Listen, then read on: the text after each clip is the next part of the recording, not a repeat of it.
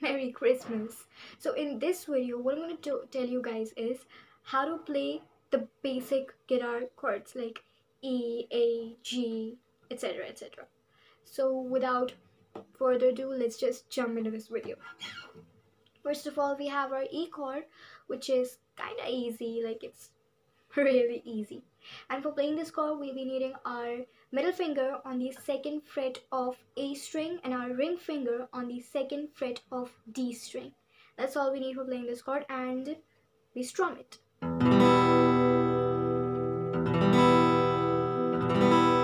That's how it is played.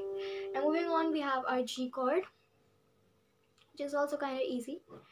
For playing this chord, we'll be needing our index finger on the second fret of A string, our middle finger on the third fret of E string, low E string, and our ring finger on the third fret of high E string, the first string.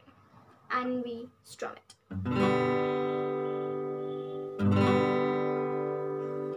Now we have our A chord. For this chord, we'll be needing our index finger on the first fret B string, middle finger on the second fret of D string, and ring finger on the second fret G string. And uh, we need to keep one thing in mind while playing this chord. We do not pluck the low E string when we strum this chord. We start from the A string and so the bass note for this chord is the A string. Is how we play this chord. Now we have our C chord which is also easy.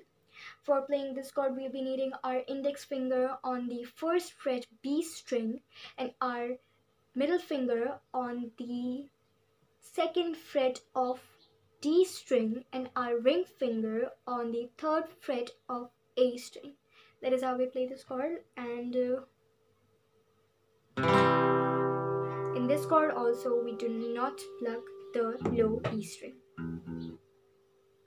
Poor low E string. Now we have our D chord and for the D chord we need to put our fingers like our index finger on the second fret of G string, our middle finger on the second fret of high E string and our ring finger on the third fret of B string. That is how we play this chord. You can see the shape. While strumming this chord, we only pluck the first four strings. That is the, the high E, B, G, D.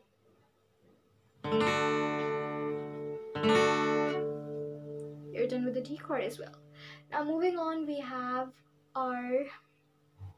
Which chord is left? Well, I guess we're done. Yeah, we're done.